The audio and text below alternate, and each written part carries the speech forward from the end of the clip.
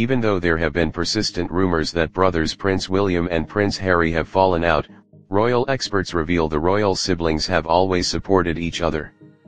And in fact, it was William that saved Harry from his battle with depression. According to royal expert Angela Mollard the boys understand each other in ways even their father, Prince Charles, doesn't. The two boys from a very young age, losing their mum, have shared a truly unifying event and it is only each other who really understand the struggles they have been through as a result of their mum's death, she says. The pair were always close even from birth. William used to get into Harry's cot, climb in and out, and he was very protective of him.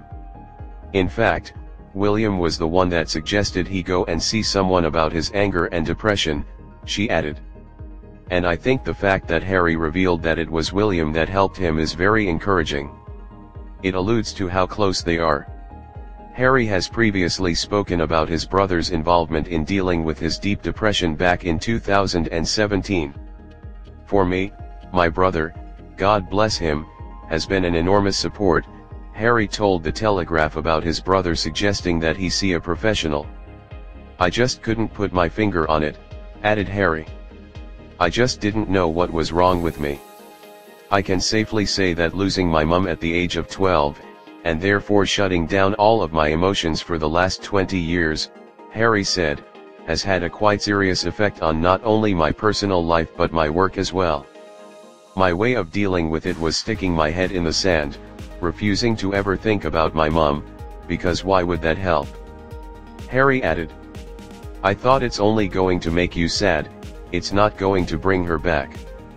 And then started to have a few conversations and actually all of a sudden, all of this grief that I have never processed started to come to the forefront and I was like, there is actually a lot of stuff here that I need to deal with, he added.